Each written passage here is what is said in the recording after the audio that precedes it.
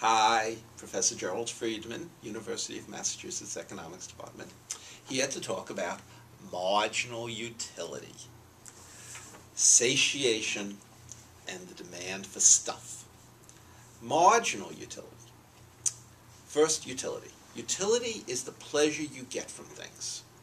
Marginal utility is the pleasure you get from one more of the thing. The basis of neoclassical consumer theory, even neoclassical value theory, which is something else, is marginal utility and the idea that the extra pleasure you get from consuming one more of anything diminishes over as you have more. You get tired of it. Anything you get tired of. You get sated. You have had enough. Marginal utility diminishes. The first time you do it, oh, it is just great and blows your mind. Second time is wonderful. Third time is really sweet. Fourth time is nice. The fifth time, you have a headache. Things get less exciting when you have more of them. Even sex, drugs, and rock and roll. We can graph diminishing marginal utility, and it will be downward sloping. The more you have, the less you get, less pleasure you get from additional things. First dog, worth enormous amounts to you. Second dog, still good. Third dog, getting to be a bit of a nuisance. Fourth dog, you're getting to be a little tired of having to pet dogs all the time and rotate which one gets to sleep on your bed, etc. Fifth dog, mm. sixth dog, you'll pay somebody to take it away from you. First glass of wine, oh, second, third, fourth. By the time you get your seventh glass of wine, you're ready to boff. How much do you drink? I hope not enough to be boffing.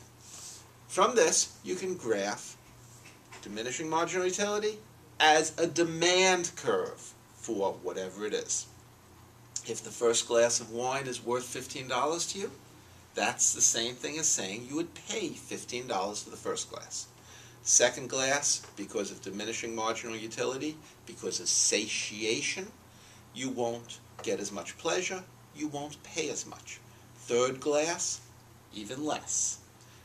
By the time you get to the sixth or seventh glass, you won't even be willing to pay anything for it because you get no pleasure. So you can derive a demand curve, a downward sloping demand curve from diminishing marginal utility. That's your individual downward sloping demand curve. Now, just a side note, not everything has diminishing marginal utility.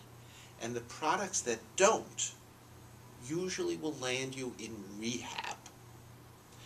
For example, cocaine. Give rats unlimited access to cocaine, they will snort and snort and snort and starve to death. People are like that. There are these products where you have increasing demand, increasing marginal utility, and those become the things that they take over your lives. You consume them at the exclusion of everything else. We call these addictive substances. And they're generally illegal because they're bad for you. You start on the path consuming them more and more. Most things aren't like that. We know that's true because most people consume a wide variety of different products. Because each one experiences diminishing marginal utility, so each one, after a while, you get tired of and you move to something else.